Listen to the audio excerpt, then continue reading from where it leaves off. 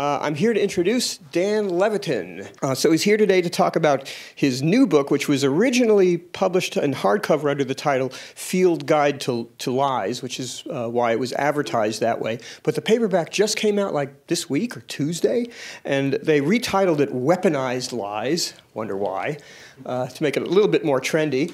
Dan Levitin to talk a lot more about lies. Thank you. Well, thank you all. I'm, I'm delighted to be back at Google. Um, I want to talk about the current state of facts and pseudo facts in the world and perhaps in the White House. Um, I feel that, well, one of the reasons we reissued my book in paperback with this updated title is what I want to talk about. I, I'm beginning to feel that our country is in a crisis that could possibly set us back 400 years. And I know that sounds dramatic, and I'm not talking about politics. I'm talking about reversing the age of reason, which ushered in a period of unprecedented intellectual, economic, cultural, and social growth. The Enlightenment, as it is also called, drew a line in the sand between rumor and fact, between testable hypotheses and anecdote and between demonstrable facts and nonsense. Prior to the Age of Reason, uh, people who heard voices in their heads might have been burned at the stake or drowned as witches. Uh, by the 20th century, we, we had identified a biological disease called schizophrenia that causes these voices in the head. Uh, we've developed drugs to treat it. The Age of Reason led us to the germ theory of disease, penicillin, and although it took us a while and still isn't ubiquitous, women's rights, child labor laws, and a reduction in racist attitudes around the world, all thanks to the age of reason, uh, to evidence based thinking.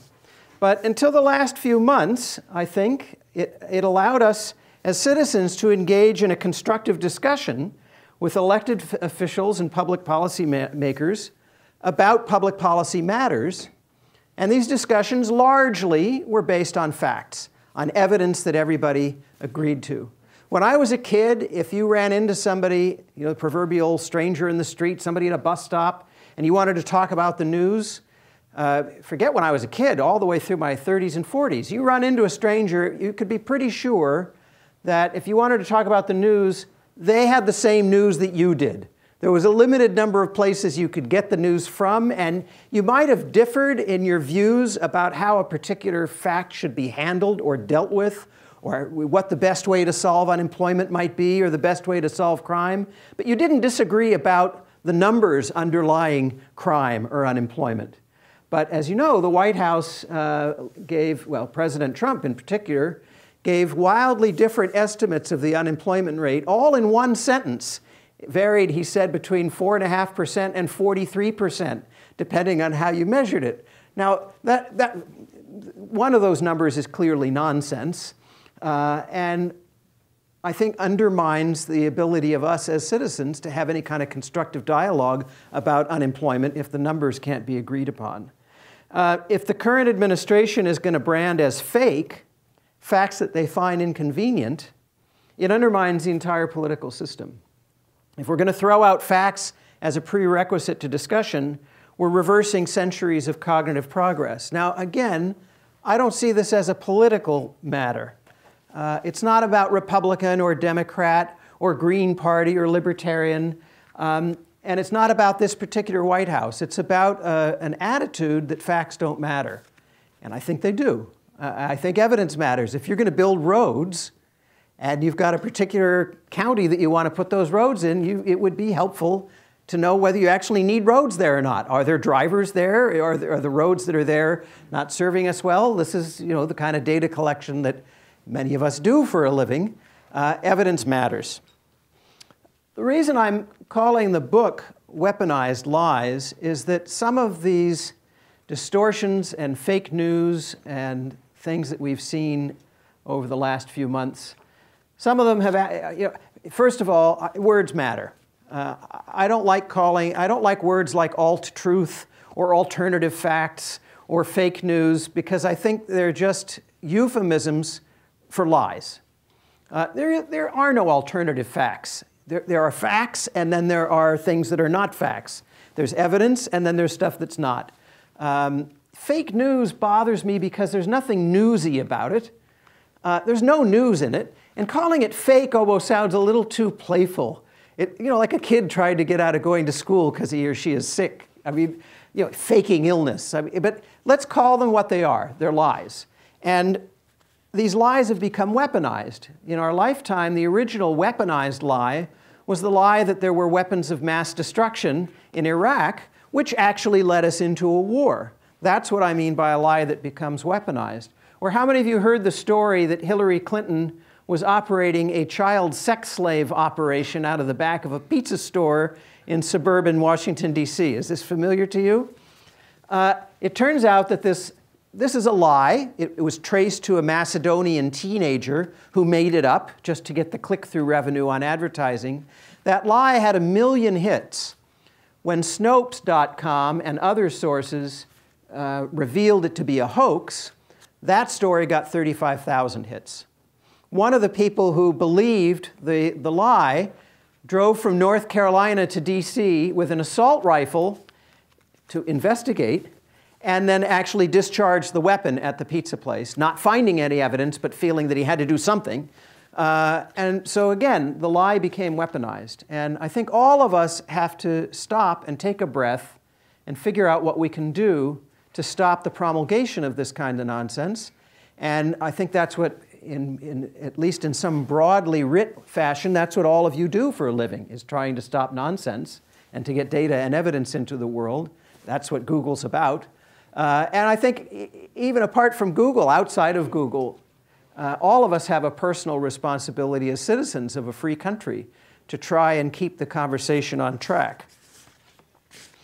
Now, why does any of this matter uh, to you in your own life? Maybe you're not political, maybe you don't want to get involved, maybe you're just uh, trying to figure out how to get by one day at a time. And I'll tell you why it matters. Because evidence based thinking in your personal life, setting aside the public sphere, uh, it's correlated with a number of important outcomes. Evidence based thinking is associated with conscientiousness, which is a factor that's been shown to correlate very highly with increased longevity, fewer health problems, more life satisfaction, and in a very real fashion, being able to engage in evidence based thinking will save you time. You'll be able to make decisions more quickly. You won't have to recover from bad decisions, which always takes a lot longer than having made a good decision the first time out. Uh, especially decisions about your health care or where to invest your retirement money. Evidence based thinking helps there. For those of you that have children or younger brothers and sisters, um, this kind of thinking will help them get better grades in school and to do better on their papers and assignments. Um, non evidence based thinking has actually had a very dire and very local consequence. Just not to put too fine a point on it, but you all know that Steve Jobs died of pancreatic cancer. What isn't as widely known is a little bit of the nuance about the treatment that he chose. So, when faced with the opinions of medical experts, um, Steve Jobs decided, um, look, Steve Jobs was clearly a brilliant man, right? But he didn't make an evidence based decision, which he later admitted towards the end of his life. Rather than go with traditional Western medicine, he decided to follow an alternative medicine regimen, which, uh, you know, changing his diet and getting exercise and things like that, we're going to beat the pancreatic cancer. Well, by the time he realized that it wasn't working, the cancer had progressed to such a degree that Western medicine could no longer help him. And he died. And, and he admitted that he had made an error in judgment there by not going with the evidence. Now, I've been a little bit sloppy with my language here by referring to traditional Western medicine and what he pursued as alternative medicine, because really there's no such thing as alternative medicine. I, might, I, know that I may make some of you mad by saying that. I know that Silicon Valley is ground zero for alternative health. But uh, as is Marin County, I suppose. I got chewed out when I talked about this in Novato recently. Um, but the way I look at it, alternative medicine is a non sequitur. It's not like there are two kinds of medicine and one is running in parallel to the other. There's medicine, which has been proven to work. And then anything for which we have no evidence, we call alternative medicine. And then, as soon as it's been shown to work, it becomes medicine, right? Alternative medicine is simply the category of things that we have no evidence for. So, to, to call it alternative medicine, like calling something fake news, kind of elevates it to a dignity that I don't think it deserves. The problem, of course, with lies and um, distortions of truth is that they can lead you down the wrong path. And, you know, getting back to the age of reason, it was Voltaire who said, Those who can make you believe absurdities can make you commit atrocities. And this is what I think all of us need to have, uh, make a concerted effort to change about the way uh, the current public discourse is going. Part of the problem, too, is that there's been a balkanization of news sources. As I said earlier, it used to be most of us got all our news from a few sources. And sure, there was some crank. If you went into a city like San Francisco and you went into um, you know, Market Street, there'd be some crank on the corner with a, a, sandwich board saying the world is coming to an end, or he might be yelling into a bullhorn that there's a terrible conspiracy, that uh, you know, the CIA is, is spreading germs in the atmosphere to keep us all docile or whatever. And you knew because it was a guy with a sandwich board and a, and a bullhorn, you knew it was a crank. The problem is now those cranks have turned to the internet and it's very difficult to tell because, you know, face it, any 11 year old can make a website that looks professional, as professional as that of General Motors or Ford Motors or, you know, a big American company. Uh, and it's harder because we don't have the traditional cues telling us. I grew up in, in the East Bay and we had some crank in our community when I was a kid who had a little printing press in his basement with rubber type, and he'd print out these screeds and put them in front of everybody's door. And you knew from the kind of tilty type and the uneven inking uh, that this was not a professional operation, which didn't mean he wasn't right, but I believe in playing statistics. The statistics are the New York Times and the San Francisco Chronicle were more likely to be right than this guy who was printing off stuff in his basement, who might have been right about, about things once in a while, but then sooner or later you know, the Chronicle would pick up on it, and then I would read about it for realsies. Uh, but this balkanization of the news media has left us without the traditional gatekeepers and checks and balances. People get their news from all different sources, and when they're talking to each other in the street or online or through social media, they're dealing with what they think are different facts. I want to clarify there are not different facts. There's a set of facts, but there are different opinions, and then there's nonsense being promoted as fact. I think that um, all of us need to take seriously President Obama's parting words. Again, I, I, I, don't intend for this to be political. I, I, imagine that it may sound political to some of you. I consider myself um, to be um, nonpartisan and down the center in, in most issues.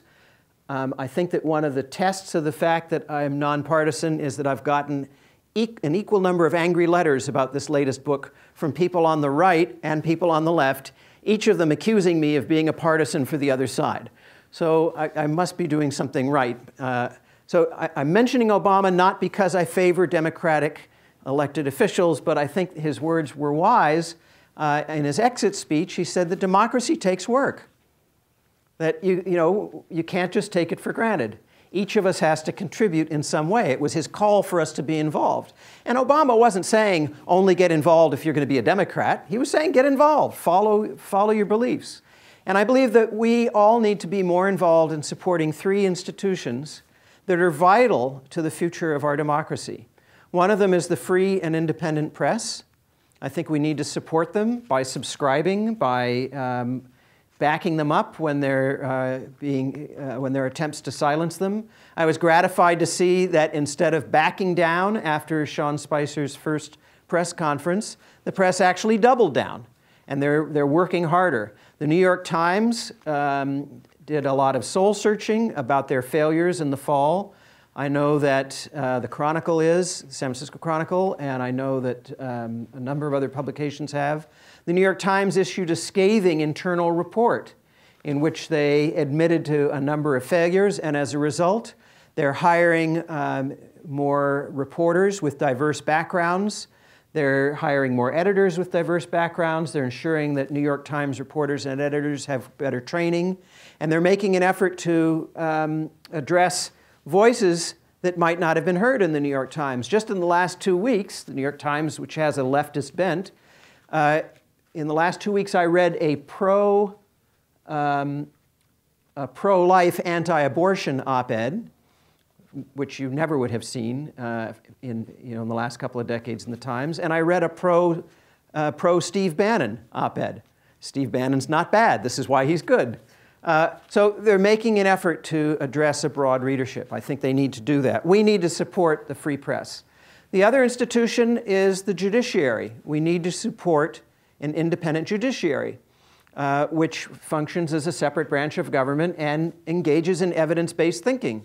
It was no accident. It was telling that when the federal judges view, uh, reviewed the uh, tr- original Trump immigration ban, the phrase that stuck out was there is no evidence that these seven countries are um, you know, posing a danger to us. They are evidence based. Now, you can, uh, the third institution is uh, science, scientists, the scientific method. Scientific method believes in collecting data, withholding judgment until uh, you have a preponderance of evidence, uh, rigorously assessed, peer reviewed. Now, certainly, um, all of you can complain that these are imperfect systems. You know of corrupt journalists. You've heard about journalists making up stories. You've heard of corrupt judges. Uh, you know that there are corrupt scientists. In my own field, in cognitive neuroscience, we've had two or three terrible um, episodes in the last few years where leading scientists in our field admitted to making up data. Um, Harvard scientists, we read in the 60s, took money from the sugar industry in order to uh, play down the bad health effects of sugar. Yes, there are corrupt people in all these institutions, but they're the best we've got. And they're self correcting. They eventually root out the corruption. Uh, and when they work, they work to sustain democracy. Think of judges. The whole idea of an independent judiciary is they're not beholden to special interests. They protect the weak from the powerful. They protect the poor from the rich. They protect people who might be from underrepresented or disenfranchised communities from the majority. That's the way it's supposed to work. Again, there are corrupt judges, there are biased judges, uh, but that doesn't mean we throw out the whole system. Another big point I'd like to make is that I think we need to, uh, as a society, as a community, and especially here at Google, start thinking a little more carefully about experts and venerating experts. There's a kind of culture in the country right now of being suspicious of them. Uh, and that, that has led to the current climate of fake news and alternative facts, I think. Um, and I think we scientists share some of the blame here uh, for, for the fact that people don't trust experts. Again, some scientists have, have admitted to falsifying data. The doctor who claimed a link between autism and vaccines had his medical license revoked, his paper was retracted, he admitted to falsifying documents. Uh, Andrew Wakefield was his name, but you still, 20, 20 or 25 years later, you still, it was 1987, I think, 30 years later, we still read about people who are convinced that there's a link between autism and, um, and the MMR vaccine. I'll come back to that in a bit when I talk about particular examples, but I think we scientists are to blame for not policing each other better. And part of it has to do with pseudo expertise, which has become kind of a fascination of mine. Oftentimes, people who are qualified and expert in one domain will start pontificating in another domain that they know nothing about. And it drives me crazy.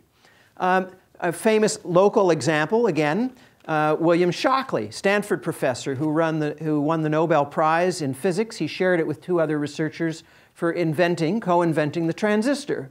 Well, later in his life, William Shockley, PhD in physics, Nobel Prize in physics, developed deeply racist views about the genetic inferiority of a uh, subset of the American population. And he went around the country espousing these views, and people believed him. And they must have thought, oh my God, he's got a Nobel Prize, he must be really smart. Well, yes, in physics, but he had no training in genetics or genealogy or cognitive assessment or any of the things he'd need to know. And, and he was, by the way, he was wrong, but we tended to believe him. And I'd like to point out that the PhD in physics doesn't even mean that he's an expert in other kinds of physics. He was a materials physics expert. I wouldn't have trusted him to start talking about cosmology or uh, about uh, string theory. Expertise, it turns out, is very narrow and it's domain specific. Occasionally you run into people who are expert in a couple of fields, but really, when an expert's talking about something, um, you want to be sure that they are qualified and that their expertise is relevant. There are some funny examples of this. How many of you remember the claim, hearing the ad campaign, four out of five dentists recommend Colgate? Famous ad campaign. Well, it turns out Colgate got sued for it. Uh, not because of pseudo experts, but I'll, I'll, get to that in a moment. I'll make the link in a moment. They got sued for it because of what the claim implies. To the average person, the court held, the claim that four out of five recommend Colgate is tantamount to saying that four out of five dentists prefer Colgate. But in fact, they don't. Part of critical thinking is we have to say to ourselves, what question were the dentists asked by the pollsters? Well, it turns out they were asked to list on a piece of paper as many toothpastes as they like that they recommend to their patients. And it turns out they listed Colgate and Crest and Aim and Aquafresh and Gleam and Arm & Hammer and you know a whole bunch of toothpastes. I, it makes you wonder what was that fifth dentist recommending, right? That you don't brush your teeth? Who knows? But the, the four out of five, they were sued, they had to stop doing the ads because it's a misleading claim. So when you encounter claims like that, um, you know, part of the Field Guide to Lies, the Weaponized Lies book, is to give every one of us some tools, easy to reach tools uh, that we can use when we hear a claim like that and, and know what questions to ask. So the first question to ask may not be this, but somewhere down the list you want to, you know, if you hear the result of a survey, ask yourself, what question do you suppose these folks were asked? And if it's a good report, if it's a, you know, in a good newspaper or a good NPR report, or I mean, if somebody's written a good article on it, they'll tell you what the survey was. They'll reveal that. They show you what the questions were. But getting back to pseudo experts, the thing that fascinates me about this is I'm not sure dentists are the right people to ask. Why do I say that? I've been going to dentists all my life. My dentist has never asked me what toothpaste I use. And I'm usually in a room, and there's somebody in, in, a room on either side of me, and the dentist is, you know, going around and visiting three people at once. And I've never, I've overheard his conversations. I've never heard him ask any other patient what toothpaste they use. So, um, why is it that we think dentists are the right people to ask? And who would you ask? Well, you probably would want to get a scientist or a medical researcher to randomly assign toothpastes to a group of people, and then they use these different toothpastes, and you follow them for a few years and then you, you measure various outcomes of oral health gingivitis, gum disease, bad breath, cavities, whatever it is. And then you've got your answer, right? That's a scientific study. Dentists, dentists aren't necessarily the ones to know. Shame on those dentists for answering the question in the first place. And shame on the rest of the dental community for not pointing out that dentists don't know the answer to this. Now, I'm kind of making fun of this because there's not a lot at stake. Which toothpaste you use doesn't seem to matter much uh, according to science, and the recent report that even flossing doesn't seem to matter much. Uh, but it's not funny when people's lives are at stake, and there was a tragic consequence to this issue of pseudo expertise when a young woman named Kelly Clark in England was on trial for murdering her infant. This was the second infant of hers that died. And in testimony, a pediatrician testified that the odds of both babies dying of natural causes uh, were phenomenally against her, that she had to have killed this baby, that the, the probability was, was um, you know, very, very um, e- extremely significantly low that the, the baby could have died other than at her own hand. So she went to prison for three years. The whole time her husband worked to have her exonerated. He finally had um, some microbiological studies done of the infant's brain, and it was found out that the infant had a congenital disease that killed it.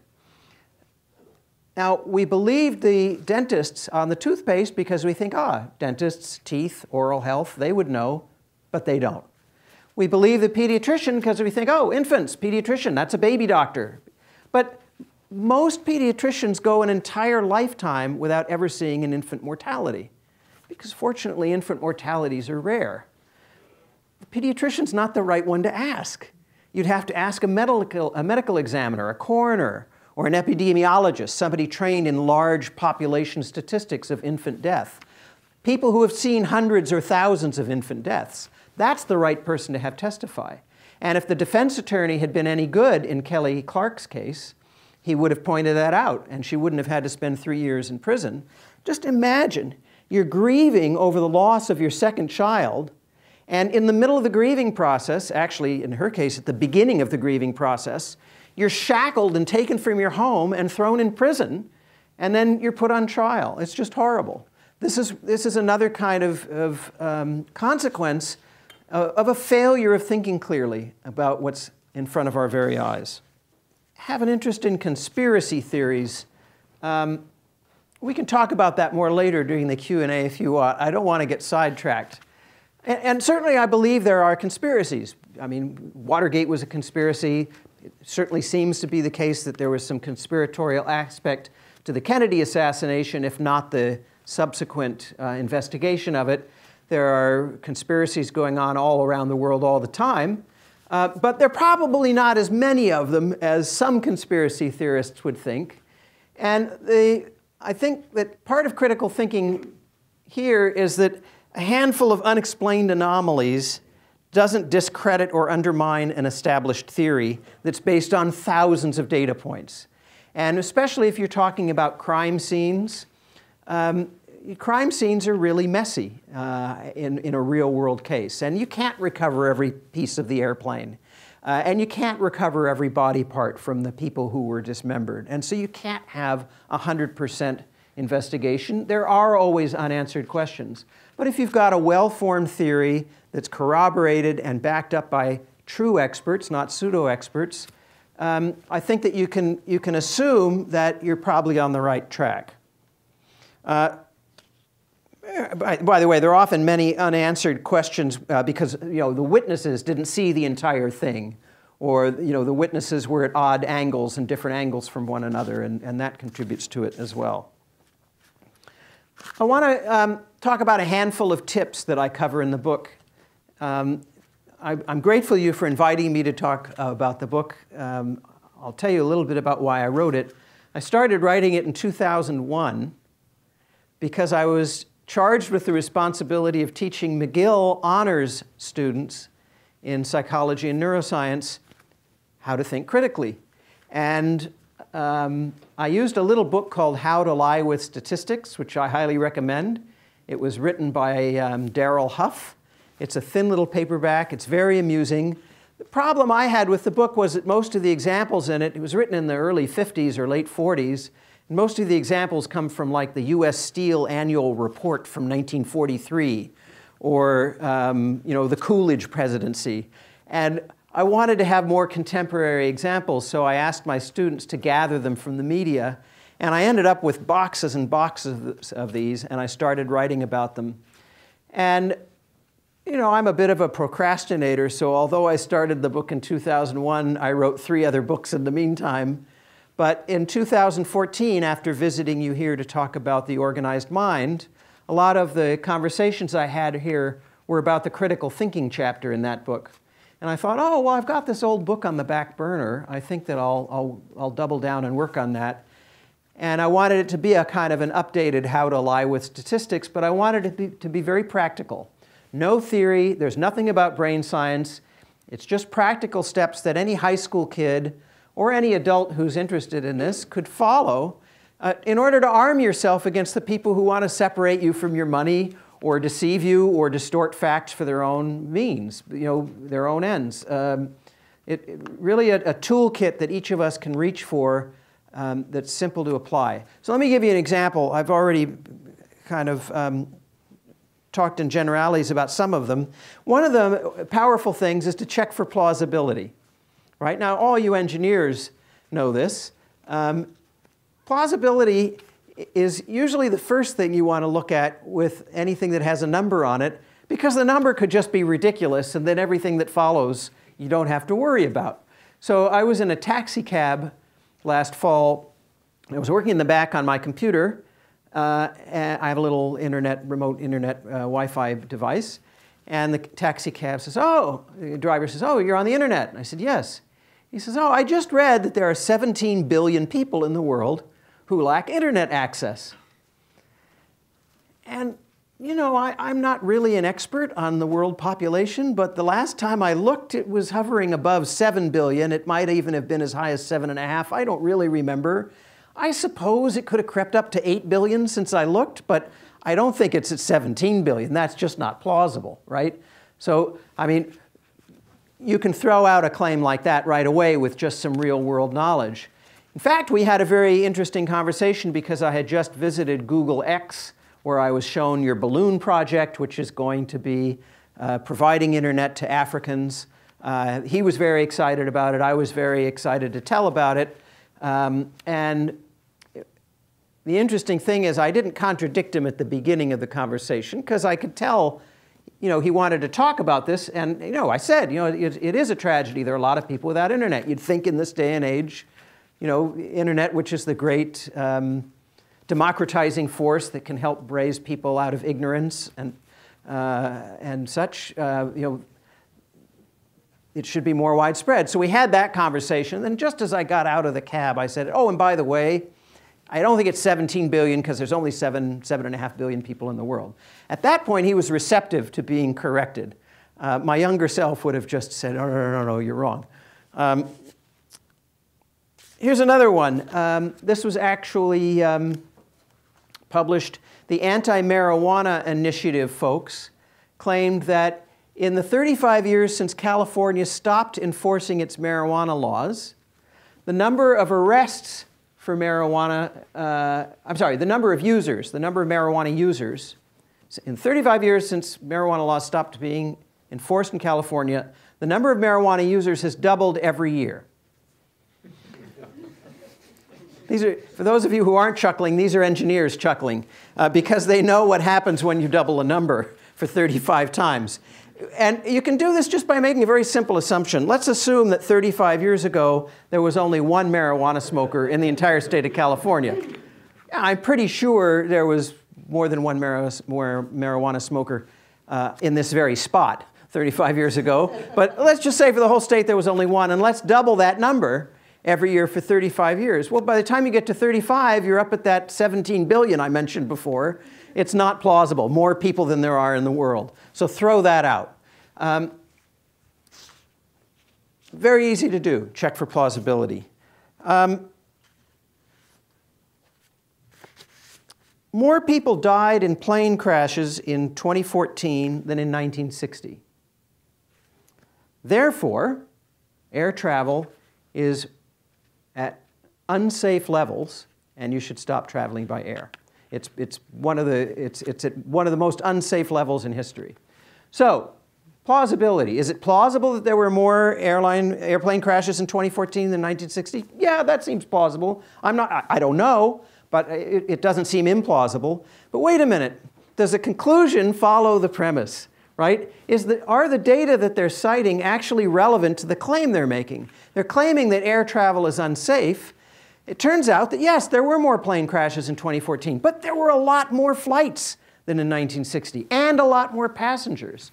Uh, it, so the relevant statistic here isn't how many crashes, but how many crashes per thousand miles flown or how many crashes per thousand flights or how many fatalities per thousand miles flown, anything like that that scales so that you're dealing with you know, a proportion rather than raw numbers, you have to account for the fact that the world has changed. So um, we often find uh, that people, either because they're trying to deceive us or because they don't know better themselves, will bring up irrelevant facts. And a lot of public debate uh, goes around these kinds of well, this is true, so this must be true. And no, it, it, it's not true that that must be true. It, it doesn't necessarily follow.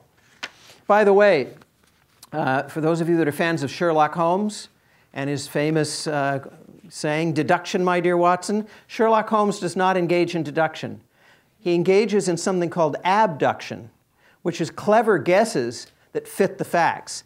Deduction is something that has to be true given the, the premises or the facts or the evidence that you've collected. That's not what he does, right? If you look carefully, most of the time he's saying, well, I noticed that there's a cigarette burn on the left sleeve, which must mean that this person is right-handed because it would be very difficult to burn your own sleeve uh, with your, you know, if you're smoking with the left hand, or, you know, these kinds of things. That it's not deduction, it's abduction.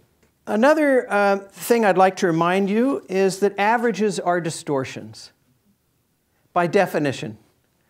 Anytime you're looking at an average, it's a distortion, and it may not be telling you all that you really need to know. So I could tell you that there is a room next door, and the net worth, the average net worth of people in it, there's 10 people in there. Their average net worth is $5 billion. And if you're collecting for your favorite charity, or you're running a bake sale for your kid's school, or you're thinking of leaving Google and working for a startup, and if only you could get a little bit of money going, uh, you're thinking, well, 10 people, 5 billion apiece, I got to get in that room. But, you know, it could be nine homeless people and Mark Zuckerberg, whose net worth is 50 billion, and it averages out to 5 billion each. The average is correct. Averages are a distortion because they don't tell you all you need to know. And what you should insist on having, of course, along with an average, is the range and some measure of the dispersion. So next time you encounter an average, if those things aren't reported, the range and the standard deviation or some measure of dispersion, uh, ignore it because it probably isn't very helpful. I think that getting back to society, I think that we all need um, models of clear evidence based thinking, and they're in short supply these days. Uh, we need them in the White House, in the courts, in the media. Uh, TV shows like Perry Mason, when I was growing up, they showed evidence based thinking to a wide audience, right? Perry Mason would try a case and uh, he'd prevent, present evidence, and then there'd be some surprising evidence from the defense or from the prosecutor. Yeah, he was the defense, the, the prosecutor. Uh, the judge would allow some evidence and not other evidence. Now, this was, this was entertainment. It wasn't an education, but it did model the very notion that evidence based thinking is a thing, and it made it look attractive and sexy. Uh, whether you were a, a William F. Buckley um, fan or not, his television show, um, Crossfire, was it? Uh, that had civil discussion between people who disagreed about things, and they sticked close to what the evidence had to say. Their viewpoints might have differed, but you know, they were engaging in evidence-based thinking.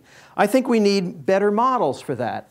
I'd like to see a site called that mirrors scholar.google.com. By the way, I've been telling everybody I know about it. I don't think you do a very good job of advertising it. But I tell people that if you go to scholar.google and you're looking for something about a scientific claim like, is echinacea really going to help me with my cold? Or I've just been prescribed this statin and I want to know what the side effects are. Rather than searching in regular Google, if people search in scholar.google.com, they end up getting um, a much narrower set of results that are primarily, as you know, from the peer reviewed scientific literature.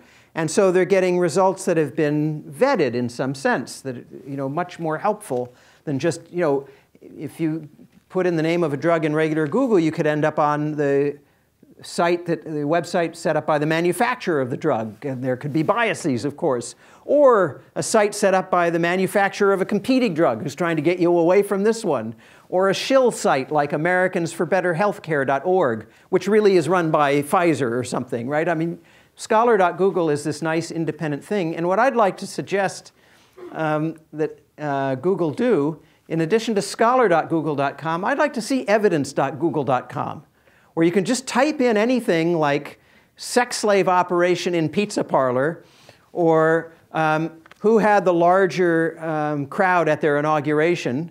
Uh, and evidence.google will, re will return just the evidence that weighs in on that issue. Both sides, so that you know, the intelligent searcher, web user, can make up their own mind. Uh, but you would see by, you would I would imagine there'd be two columns, right? Evidence for, evidence against, and you could see by the quality and, and amount of evidence uh, where the needle tends to lean. Uh, every time I come here and make suggestions, I feel like you're all rolling your eyes in the back of your head, but that's what I think. Last time I was here, I said that I thought that um, Google, um, regular Google search, uh, I had just been told in, my, in the lunch that I had before I came here last time that uh, Google was very proud of the fact that uh, when they first started out, well, when, when you first started out, uh, when Google was in a dorm room effectively, and you, you searched Google in the early days, you had to scroll down quite a ways before you would find the thing you were really looking for. And Google has been working tirelessly, of course, to make the thing you're really looking for the first hit on the list so that you're not wasting time. And there's been a lot of discussion about how, um, because Google knows your IP address, uh, whether you're signed in or not, and it knows your search history, it tends to tailor the results for you. So if um, I were to search for um, something uh, about climate change, I might get a very different result than you get searching about climate change, depending on the kinds of things we've clicked on in the past. I, I might never get any of your results, and you might never get any of mine. Uh, and so I wonder what you all think. I'd be curious to know your feelings about how or, or whether this has contributed to this echo chamber phenomenon that we've been accused of living in, this bubble phenomenon that we're only hearing views that support our own views. Uh, and we're not being exposed to what the great promise of the internet was.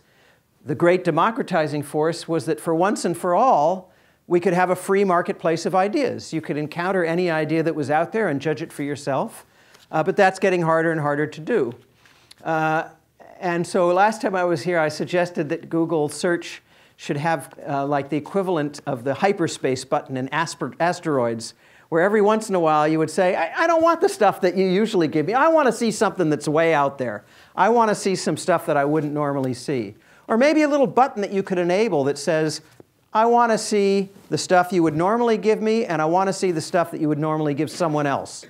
Maybe someone chosen at random, or somebody who has a, a very different mathematically defined uh, higher dimensional manifold of search history than I do. And so I'm being exposed to ideas other than my own. Uh, I when I said that two years ago, I, I, people could not have rolled their eyes any farther in the back of their heads. Possibly because I also opined that it'd be nice for Google Maps to have a scenic route button. Because when my wife and I go driving on Saturday afternoon to our favorite restaurant, we don't want the fastest way. We want the picturesque way but I can never get Google Maps to help me find it. Again, this is, sorry for the little digression, but this is Google. I have the chance to say, say what I, I want to say. Uh, getting back to my main theme here, I think that there are three institutions that we all need to support. That's the take home message the free press, scientific method, independent judiciary. I think that we need to work hard to support them, and we need to work hard to do for ourselves. Frankly, the media can't keep up with all the lies that are running around. They're working overtime. Fact checking sites uh, aren't able to keep up with all the lies. So each of us has a responsibility, a personal responsibility, to figure out what's true and what's not, um, to think for ourselves. That is the basis of a free society. And I think to do that, um, the one most valuable quality that we all need, which unfortunately has been in somewhat short supply lately, is humility.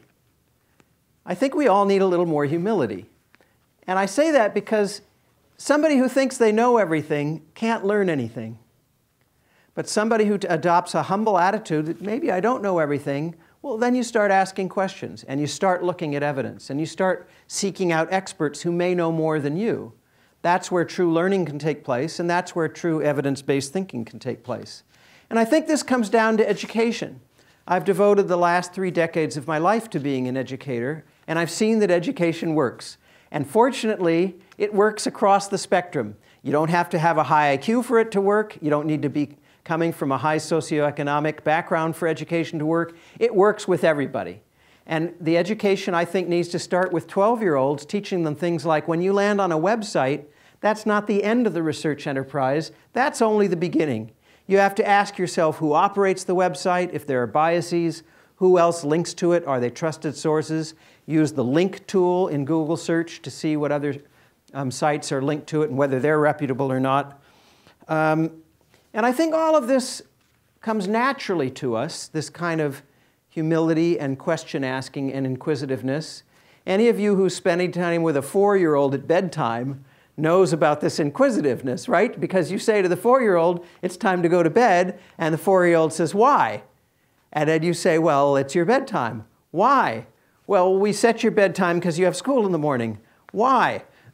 Because we want you to be rested for school. Why? You know, this goes on and on and on. This is a very natural human instinct and a phase that all children go through, but they have it beaten out of them. We have it beaten out of us by impatient teachers and impatient parents. Uh, it's often the grandparents who encourage it.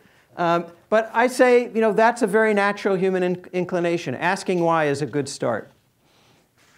Again, I think we need to take communal responsibility, and I, I would like to recommend that you don't hit the thumbs up button on um, a story that you read in your social network. You don't forward it unless you've taken maybe 30 or 40 seconds to ask yourself whether it's true or not. Is it plausible? Uh, does, is the evidence that's being given for the claim actually, you know, is it relevant to the claim? Does it come from a good source, right? Um, I gave a talk in England a few weeks ago, and a gentleman said to me, he says, You know, a lot of us voted for Brexit uh, because we believed this story, turned out to be fake news, that uh, Britons were learning, losing 350 million pounds sterling a week by being in the EU, money that could otherwise have gone to the National Health Service. Over a billion pounds a month they were losing. And he says, It turned out to be false, but so many of us believed it. How, how could we have known? And I said, Well, where did you read about it? He says, Oh, we all read about it in the same place. It was written on the sides of buses going around town. I said, Did you read about it anywhere else? He says, No, but it was on the sides of the buses. Well, I said, if the only source that you have for something is the side of a bus or a man on the corner with a bullhorn and a sandwich board, right, it, it might not be true. And he says, Oh, well, the media is part of a conspiracy. And I said, Well, yeah, they are, maybe. But you know, the media is also made up of people like you and me who are trying to earn a living and want to get ahead, maybe win a Pulitzer Prize. Uh, and if there's a real story out there, they're going to investigate it and they're going to publish it. And so you're going to get it sooner or later, most of the time, not to mention WikiLeaks, you know, exposing this kind of stuff. So, you know, there is a hierarchy of information sources, and I think we need to um, be sensitive to that and rely on it. It's just statistical. So, thank you very much for your time. I'm very much looking forward to the comments that you might have to share with me. Thank you. Thanks, Dan. We got a little bit of time for questions. I got one. Was it the side of a Google bus? No. Is there any physiological evidence or any kind of study in the area um, or in your field uh, to suggest that there may be physical differences between people who uh, can evaluate um, uh, issues based on you know evidence, and those who can't? I have a couple of things to say about that. Um, on the first of all, there's a new construct called the RQ. You've heard of the IQ, the intelligence quotient. This is the rationality quotient. And it turns out that the rationality quotient is not at all correlated with the intelligence quotient. You can have people that are very high in rationality that have low IQs, and vice versa. Now, what I suspect is going on in the brain is that people who have poor impulse control and poor emotional control are more likely to jump to conclusions than to sit back and dispassionately let the evidence come in before they make a, uh, an evaluation. And this could have to do with configuration differences in the prefrontal cortex, the part of the human brain that's most highly advanced in humans compared to other species. Um, there's also an interesting link between um, political party and fake news. So it turns out, for reasons, I'm not a sociologist, so I don't really know what underlies this, but a number of studies have shown that Republican voters are more likely to believe the fake news stories than Democratic voters. Now, it's probably being driven by underlying demographic differences between members of the two parties. That, uh, in general, Um, Democrats tend to uh, have better education, and uh, but I mean certainly there are uneducated Democrats and very highly educated Republicans. I'm talking about as a group. There could be some demographic differences there. Republican voters tend to, although not exclusively, tend to be in more rural areas where they have less contact with a large number of people, and you know it's it's complicated. I was reminded of some of the analysis by Noam Chomsky on the media, and one of his comments was uh, media organizations which are, in a sense, far from uh, in a sense, what's going on tend to be a bit more objective and stick more to the facts. And he found that uh, compared to American media, uh, the best the best media that he was able to find was actually in Belgium. Um, now, presumably, if you were at McGill for 17 years, you lived in Montreal. I I'm a Canadian, and I read The Economist magazine. I don't rely on American media by and large. Um, what do you think, or can you give an opinion about how foreigners view uh, American events and, uh, I guess, foreign media relating on, on American politics in general? Would you think that they're, because they don't have skin in the game, they don't have a bias, they don't have a motivation, that they're actually more objective and fair? Well, I will answer the question, but first I'd like to say that I am not an expert on this, and I don't want to become a pseudo expert here. I don't have expertise in media studies or communication or sociology or political science. People in those fields might have a better bead on this. I can speak as a private citizen, uh, just my own views. By the way, um, you may say, well, what's a neuroscientist doing talking about statistics? I am a member of the American Statistical Association, and I've published papers in statistical journals, and I've taught statistics. So, and I had um, 40 members of the American Statistical Association review the book before it went to press. Uh, so I've been, I've been trying to be very careful not to become a pseudo expert. Um, I think that um, certainly there are some great uh, foreign newspapers and magazines, and you know the BBC great uh, news network. I, I think that we don't all have time to read, you know, six or eight newspapers a day. I think you can just choose one that you like for whatever reason, or two, uh, uh, or, or, or, broadcast news, and stick with it and just figure that the major stories are going to be reported there. Now, uh, uh, you know, a news source based in Belgium or in London may not pick up on the fact that the Oroville Dam was about to collapse, uh, or that you know the water table here in Northern California is finally restored after X years of drought. But you know the big things they'll get, and if you want some local color, you read the Mercury News or something. But I, I don't know whether they're more objective because they don't have skin in the game. Most of what you said about uh, arguing for evidence-based reasoning and uh, advocating for the media and uh, uh judiciary and science are sounds pretty reasonable to me. What kind of objections do you get from? Do people object to these ideas? Yes, they do vehemently. They say um, evidence based thinking is just for a bunch of Poindexters and eggheads. And, you know, I don't trust you people. You people have kept people like me out of the workplace, or I don't have the job I want, or I'm only working part time. And, um, you know, you coastal lefties, you know, talk about evidence, you know, well, I don't have a job um, and or you know um, you scientists can't make up your minds. Every time I pick up the newspaper to figure out what to eat, I hear a different story. And so you can't, if I can't trust you about that, how can I trust you about anything? And I read that three scientists who were saying that um, climate change is real um, were being bribed to say it. You know, so I can't trust any of it. I'm just going with my gut. That's one of the big objections. And the other objection I get is that there's a conspiracy and that I'm part of it and I'm being paid off. Uh, and, you know, I suppose, but I don't think I'd be driving a 10 year old car if that were true.